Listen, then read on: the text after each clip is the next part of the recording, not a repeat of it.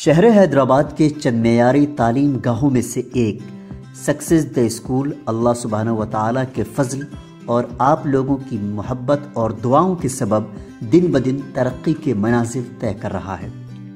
हमें ये नवेद सुनाते हुए खुशी हो रही है कि आपका इदारा सक्सेस द स्कूल में एक और नए बाप का इजाफा होने जा रहा है। सक्सेस द स्कूल के परवाज में एक नया संगमेल शामिल होने जा रहा है। आपकी दुआओं और मुखलिसाना ताउन के सबब शहर के सन सिटी इलाके में सक्सेस द स्कूल के नए ब्रांच का इजाफा होने जा रहा है। मोरखा सात मार्च 2024 बरोज जुमरात शाम के चार बजे इस नए ब्रांच का अफ्ताह होने जा रहा है।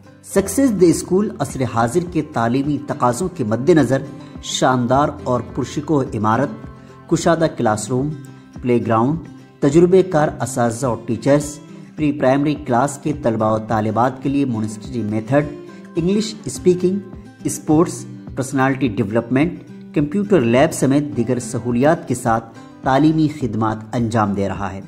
हमें उम्मीद है कि सक्सेस द स्कूल के तालीमी सफ़र में हमें आपका ताउन यूँ ही हासिल होता रहेगा और आप अपनी दुआओं में सक्सेस द स्कूल को ज़रूर याद रखेंगे। शुक्रिया। कुलहीन मजलिस मुस्लिमीन के फ्लोर लीडर व चंद्रान गुट्टा, रुकन असम्बली अकबरुद्दीन अवैसी ने गाजी मिलत कॉलोनी में मुनद दावत इफ्तार में शिरकत की। चंद्रान गुट्टा असम्बली हल्के के गाजी मिलत कॉलोनी में अजीम शान दावत इफ्तार का नज्म किया गया था। कायद मुखना अकबरुद्दीन ओवैसी और उनके फर्जंद डॉक्टर नूरुद्दीन ओवैसी ने दावत इफ्तार में शिरकत की। मुंतजमीन और मुहिबान मजलिस की जानब से अकबरुद्दीन ओवैसी और नूरुद्दीन ओवैसी का वालहाना इस्तबाल किया गया।